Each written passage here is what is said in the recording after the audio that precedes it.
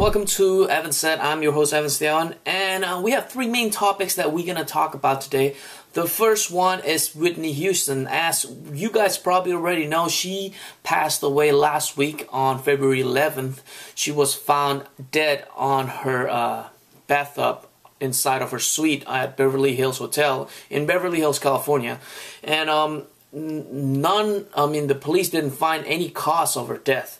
Uh, even until today. All I want to say is basically uh, Whitney Houston is a very uh, big star and um, she have a very promising career that got screwed up because love or um, whatever that blind love bullshit with this guy Bobby Brown. I think that guy is a complete jackass and trash. Uh, I don't care what other people out there will say, like especially people who are a big fan of Bobby Brown. She just made uh, Whitney Houston's life and career. Uh, she just he just destroyed it completely. All I could say is that Bobby Brown he is eighty percent the cause of her failure, and um, I I can't even imagine of being that person and still be in front of TV and anything. And uh, again, I'm just saying straight up right now, I don't really care about Bobby Brown's fans or anything because the truth of the matter is, yes, this guy is the cause of uh, Whitney Houston's destruction. You know, it, it's destruction of her life, her career, and everything that she had built since she was, you know, singing since she was young. Anyways, um, her body was rested Sunday, February 19th at Newark, New Jersey. And uh, that's all I, I, I, could say right now. It's just rest in peace, Whitney. And uh, uh, thank you for blessing us with uh, your music.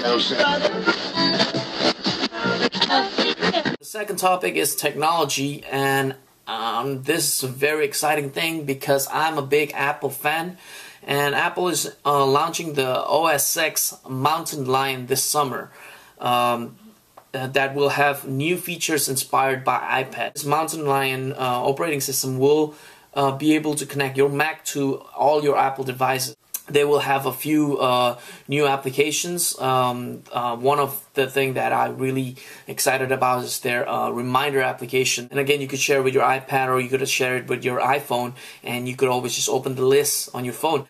Another thing is on the OS X Mountain Lion, there will have a new notification bar on the right side of the home screen. There's also a new feature which is the Game Center, but uh, I'm not really care. I don't. I don't really care about this Game Center application because if I want to play a game, I will go to my PS3 and I will definitely have a better experience of it. But uh, again, uh, OS X Mountain Lion uh, coming out this summer, I think would be a great thing. The final topic of today's episode, which is on world news. There's an innocent American imprisoned in Nicaragua since summer of 2011. And this person is a 34 year old Jason Puracal. Uh, he is a former Peace Corps volunteer from Washington State that has been imprisoned for wrongfully committed of international drug trafficking, money laundering, and organized crime. But listen, this is the funny thing right now. There's no evidence that um, linked between this guy to 10 other people who are caught, convicted of uh, doing all this wrong stuff. And uh, one more thing is like there's no evidence of the actual drug. This shows how crazy other countries are, and they just put people in jail the way they want it, no matter what. Well, right now there's a growing number of defense attorneys, investigators, civil rights, and human rights um, activists and lawmakers asking for the release of this guy. And hopefully he'll be released soon because uh, he was in prison since summer 2011. That's a long time for something that uh, he did not do. And you know, we're talking about a jail or a prison uh, in another country, Nicaragua. I can't even imagine how bad that place is.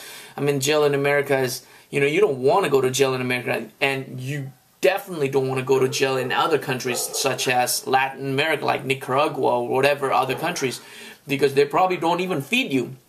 Or I don't know what's going on there. Like Americans who go to Mexico, you don't want to get in jail in Mexico, even though the cops would just pull you over for no reason. You know what their purpose of pulling you over? They want some money from you.